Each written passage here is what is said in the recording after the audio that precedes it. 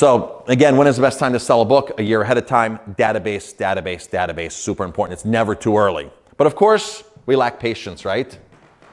We're going to wait to do something, then we want quick results right then and there. Let's get it done. Why aren't people coming in my door? Why aren't people signing up for my email?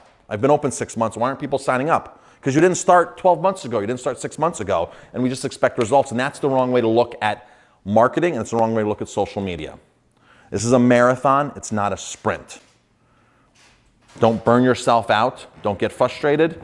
Marathons, long, slow, steady. Seth Godin, fantastic author. He wrote a book called The Dip. I highly suggest, uh, I highly recommend reading this, suggest reading this. It talks about how business cycles. It's a fantastic read. Your breakthrough could be just around the corner. But if you're in the sprint mode, you're never going to see that break.